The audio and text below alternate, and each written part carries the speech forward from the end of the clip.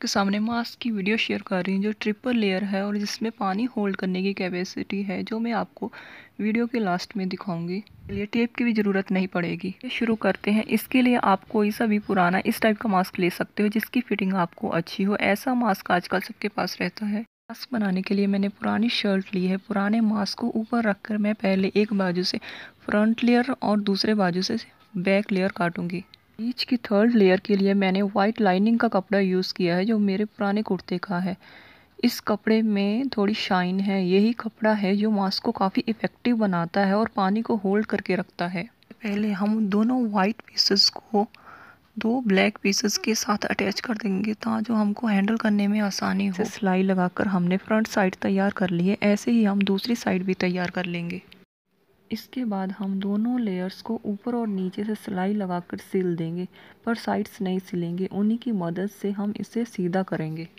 बस इसी के साथ मास्क लगभग तैयार हो चुका है। बस साइड में लास्टिक लगाना बाकी है। तरह हम पुराने मास्क को किसी भी कपड़े के ऊपर रख कर बिना किसी नाप तोल के बहुत इजी मेथड से एक नया मास्क तैयार कर सकते हैं। अब हम इसको पुराने मास्क के ऊपर रख कर डोरी का नाप लेंगे। ये मैंने ब्लैक स्ट्रेचेबल कपड़ा लिया है तो हम इसकी डोरी सिल के इसको दोनों तरफ़ अटैच कर देंगे। तैयार है तो चलिए अब इसे चेक भी कर लेते हैं।